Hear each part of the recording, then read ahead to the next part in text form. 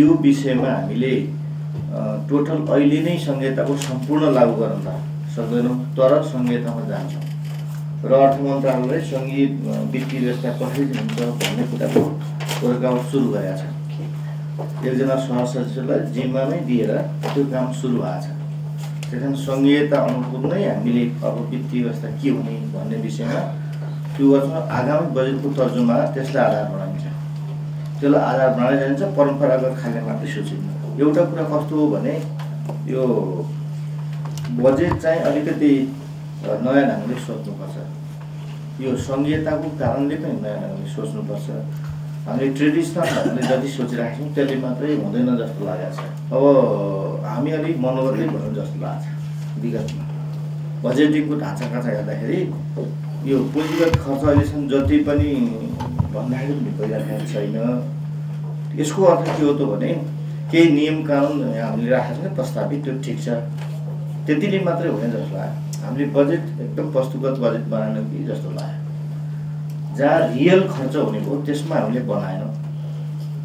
जहाँ खर्च नहुने हो त्यहाँ बनाउने जस्तो लाग्यो। त्यसो हो भने हामीले एकदम अब्जेक्टिभ भएर बजेट बनाउनु पर्ने। गाइडलाइन जारी गरेर ल एलएमबिआइएसमा यतिभित्र इन्ट्री गर्नु भनेपछि कार्यक्रमहरू आउनुपर्ने हो यो काम गराइबाट के देखियो भने कतिपय मन्त्रालयहरू सिरियस हुनुहुन्न।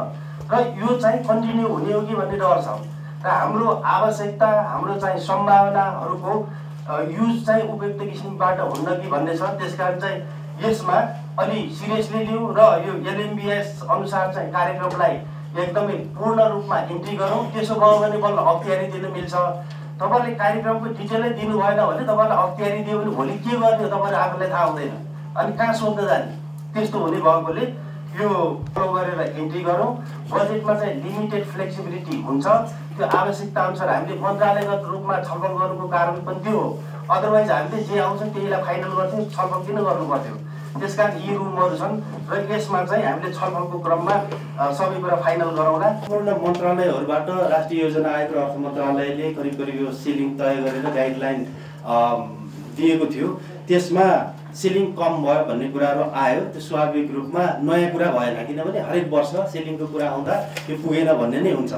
तर अहिले हाम्रो चाहिँ जोड के हो भने हामीले देशको आवश्यकता र सम्भावनालाई प्रयोग गर्नको लागि ठुलो मात्रामा इन्फ्रास्ट्रक्चरमा इन्भेस्ट गर्ने यो जुन चौधौँ त्रिवर्षीय योजना छ त्यो पिरियडमा कम्तीमा पनि एउटा यस्तो प्लेटफर्म तयार गरौँ जसले गर्दा आगामी दिनमा हामी चाहिँ डबल डिजिट ग्रोथमा जान सक्छौँ। त्यसरी आगा लागौँ भनेर हामीले प्लान गरिराखेका छौँ र त्यही अन्तर्गत यो सिलिङ वितरण गर्दाखेरि पनि गाइड गाइडलाइन्समा सकेसम्म पुँजीगत खर्चतिर बढी जोड दिउँ भनेर हामीले त्यसमा चाहिँ उल्लेख गरेका छौँ। र त्यसै गरी हामीले चाहिँ आगामी निर्वाचनपछि हुने स्थानीय तहलाई यो इम्प्लिमेन्टेसन फेजमा हाम्रो पहिलाको सबै कुराहरू ब्रेक गरेर यो चाहिँ नयाँ फड्को मार्ने किसिमको अवसरको रूपमा लिनुपर्छ भनेर पनि त्यसलाई हामीले एडजस्ट गर्न खोजिरहेको छौँ। सामान्य प्रशासन सचिवजीको अध्यक्षतामा भएको कमिटी छ मुख्य सचिवले गठन गर्नुभएको। त्यसले सेन्ट्रल लेभलको अर्गनाइजेसन स्ट्रक्चर कस्तो हुने कति मन्त्रालय कति विभाग हुने त्यो कहाँसम्म पुग्ने कुन कुन निकाय स्टेटसम्म कुन कुन निकाय लोकलसम्म पुग्ने कुन कुन माथि नै रहने त्यो निर्धारण गर्ने कमिटी बनेको छ। त्यसले एउटा खाका तयार गर्छ एक महिनाभित्र त्यस्तै स्थानीय विकास सचिवजीको अध्यक्षतामा छ। प्रदेश र स्थानीय तहको अर्गनाइजेसन स्ट्रक्चर कति भन्ने? मलाई लाग्छ संविधानले जिल्ला विकास समिति त्यति धेरै चिनिया जस्तो लाग्दैन। अहिलेको स्ट्रक्चरमा जिल्ला विकास समिति रहने सम्भावना छैन। त्यसकारण लोकल लेभल प्लस स्टक स्टेटको क्या कस्तो हुन्छ संरचना? त्यो आएपछि स्टेटको संरचनालाई बजेट व्यवस्थापन गरेर राखिदिनै पर्ने हुन्छ र बजेटको सेक्टरल जाने र ग्रान्टमा जाने विषयलाई छुट्याएर राख्नलाई हामी पनि विशेष छलफल गरिरहेका छौँ। एक्सपर्टलाई नै हामीले ध्यानमा राखेर सल्लाह गरेर बजेट तर्जमा गर्दा सङ्घीय संरचनालाई सम्बोधन हुने किसिमको बजेट आउनुपर्छ भन्नेमा अर्थ मन्त्रालय सचेत छ। त्यही किसिमले अगाडि बढ्छौँ। त्यसले गर्दा अर्को यहाँ क्वेसन उठ्यो हामी एउटा केमा हामी निश्चित छौँ भने हामीले कसैले पनि आफ्नो निकायलाई अस्तित्व मेटाउन चाहन्नौँ। सङ्घीय संरचनामा हामी जाँदाखेरि मेरो मन्त्रालय हुनैपर्छ भन्छौँ हामी चाहिन्छ कि चाहिँदैन। मेरो निकाय तलैसम्म जानुपर्छ भन्छ। त्यो चाहिन्छ कि चाहिँदैन आफ्नो ठाउँमा छ। त्यस कारण चाहिने के हो नचाहिने के हो हामी आफूले छुट्याउन नसकेको हुनाले कमिटीले छुट्याइदियोस् भनेर हामी बनाएका छौँ। यदि त्यो काम सम्पन्न भएन भने अहिलेकै स्ट्रक्चरमा बजेट आयो भने जब सङ्घीय संरचना रूपान्तरण हुन्छ त कुन कुन तहमा कुन कुन क्षेत्रमा कुन कुन किसिमले पर्छन् स्वतः हस्तान्तरण हुँदै जान्छ। र त्यसलाई अर्थ मन्त्रालयले बजेटको व्यवस्थापन गरेर मिलाइदिन्छ। खानेपानी चाहिँ स्वच्छ पाउने औषध नपाएर मर्न पनि भएन। फोहोर नपा फोहोरमा गएर सुत्न पनि भएन। त्यस कारण हाम्रा आवश्यकता व्यवस्थापन सीमित साधनमा समान छन्। त्यस कारण खानेपानीलाई उच्च शिक्षालाई तल स्वास्थ्यलाई बिचमा अरूलाई माथि भन्ने कुरो हुँदैन।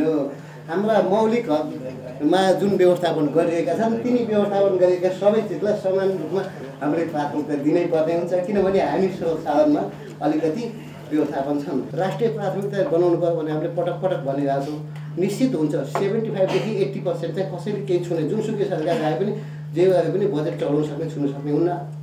एकदम फिक्स कार्यक्रम हुन्छ। दसदेखि पन्ध्र प्रतिशत हो खेल्ने। तर बिचमा आएर त्यति साह्रै नहुनु पर्ने हो। बजेटको अवस्था अलिक कमजोर देखियो। साथीहरूले अत्यन्त